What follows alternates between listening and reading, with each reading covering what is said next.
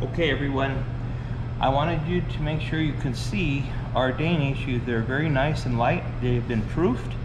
You can see how they've probably been in about 20 minutes. You can see how nice and light they are. They're a little jiggly, but they're so small, but you can feel how tender they are. The next step is we're going to press the centers, and you can either use your finger or a spoon.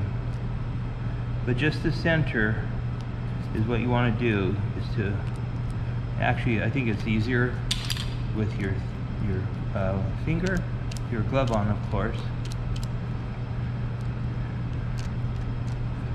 And you want to flatten the center of your spiral the spiral Danish to put your filling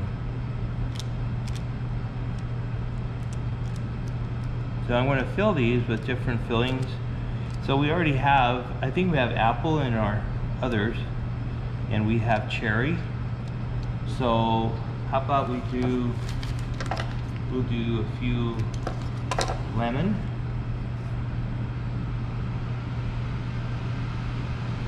Three, four,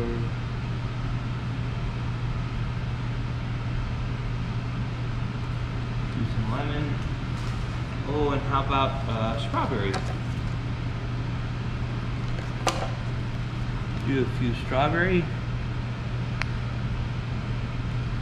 Now remember, and you can uh, push down on the dough as you're pressing, so that way it doesn't come out of the, you don't want it to ooze all over. Okay, there's some strawberry.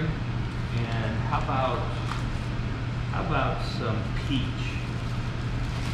That gives a pretty good, we got uh, that gives us a pretty good variety.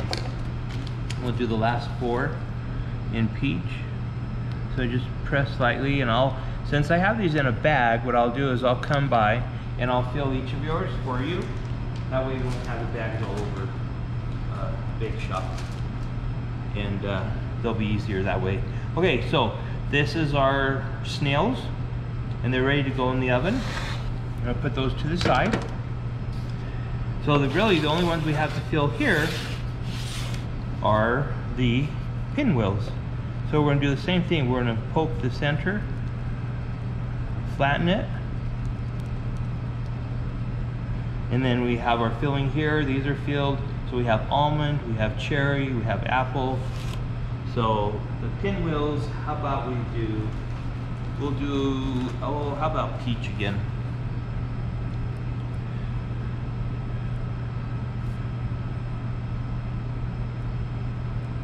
Okay. Now they're ready to go. I'm going to put these in the oven for us. Uh, they're going to bake at, like I said, at 350. I have the oven set for 350. And um, they haven't really doubled in size. About three-fourths of the way is what we're looking for. We don't want them huge because then they'll collapse with all the butter. Um, proofing again was at uh, 75 uh, degrees heat, 50% humidity. I'm going to put these in for probably 10, 12 minutes.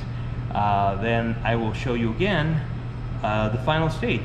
Once they're golden, we'll let them cool a bit and then we'll glaze them and uh, do a flat icing. Okay, I will be back. I will put these in the uh, in the oven.